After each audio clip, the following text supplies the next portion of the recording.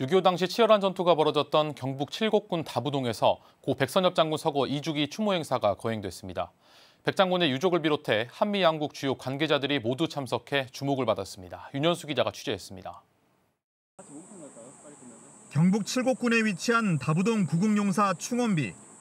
경건한 군악 연주와 함께 참석자들이 고개 숙여 묵념을 하고 추모 화환과 흰 국화를 올려놓고 호국 영웅의 숭고한 넋을 기립니다.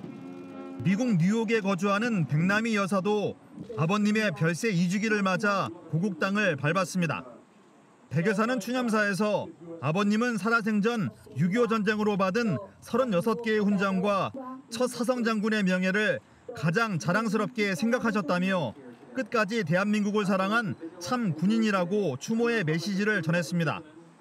아버님의 마지막 유언처럼 자유민주주의를 수호하고 한미 동맹을 더욱 굳건히 강화해 주길 바랐습니다.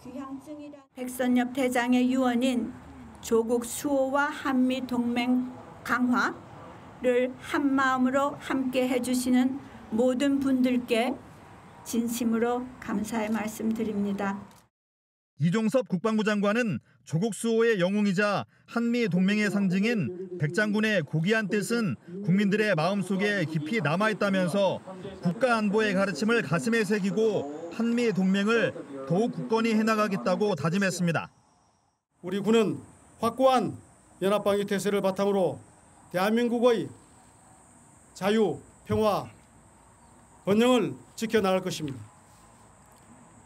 호고의 별이 되신 장군님께서도 하늘에서 지켜보시며 자랑스러워하시도록 강한 군대를 만들어 갈 것입니다. 폴 럭해머라 한미연합사령관도 추념사를 통해 경의를 표했습니다.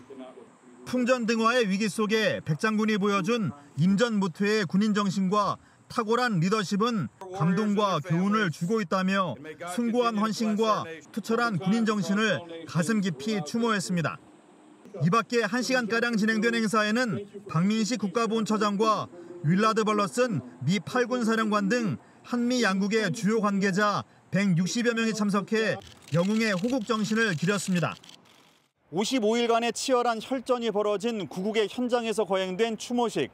고 백선엽 장군의 빛나는 업적과 6.25 참전 영웅들의 희생과 헌신을 가슴에 되새기는 시간이었습니다.